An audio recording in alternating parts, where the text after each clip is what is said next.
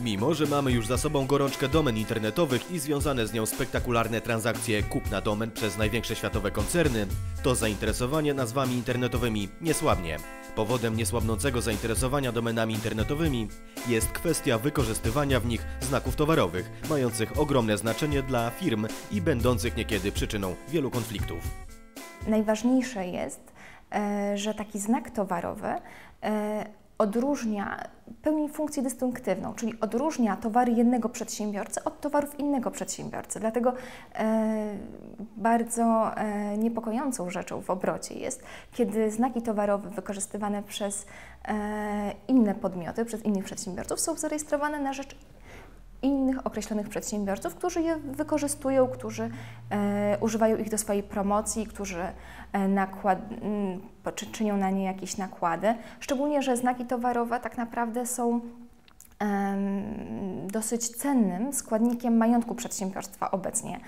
Jak my ze swojej praktyki wiemy, że teraz coraz więcej przedsiębiorców jednak e, przywiązuje wagę do tego, żeby mm, czynić nakłady finansowe na te znaki towarowe, gdyż wiedzą, że później im się to zwróci, jeżeli ten znak towarowy będzie kojarzony przez określony krąg konsumentów, ich klientów, e, jak również jest to świetny element promocji danego przedsiębiorcy. Dlatego ich ochrona jest tak właśnie istotna.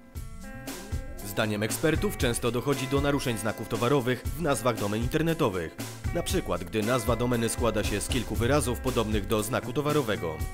Znak towarowy to dla wielu firm ogromna inwestycja i bardzo istotny system identyfikacji, dlatego też bardzo ważna jest jego ochrona.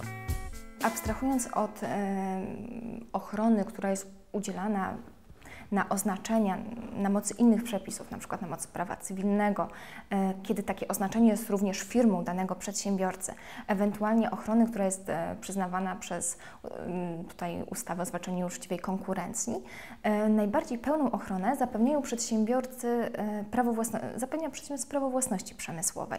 Dlatego jeżeli przedsiębiorca rozpoczyna działalność, bądź też ją prowadzi i ma ciekawy pomysł, najłatwiej wtedy dla takiego przedsiębiorcy i najpewniej będzie e, zarejestrować e, znak towarowy w Urzędzie Patentowym Rzeczpospolitej Polskiej.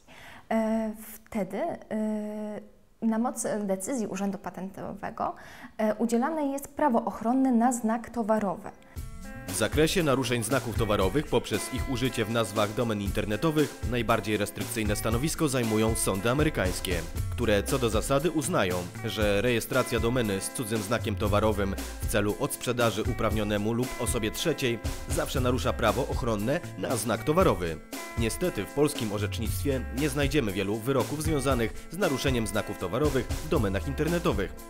Prawo ochronne na znak towarowy e, jest e, co prawda prawem wyłącznym, e, przyznawanym danemu przedsiębiorcy, osobie uprawnionej do korzystania znaku, jednak jest ono, jest ono ograniczone terytorialnie. E, Akurat tutaj, jeżeli mówimy o rejestracji, prawie ochronnym udzielanym przez Urząd e, Patentowy w Polsce, jest to prawo wyłączne na terytorium Rzeczpospolitej Polskiej. Dodatkowo jest to prawo udzielane na okresy ochronne, na dziesięcioletni okres ochronny, który trwa od zgłoszenia danego znaku. Co prawda ta ochrona rozpoczyna się od momentu wydania decyzji przez Urząd Patentowy, jednak ma tak jakby ona moc wsteczną od momentu zgłoszenia danego znaku i jest udzielana na okresy dziesięcioletnie, które podlegają, ulegają przedłużeniu.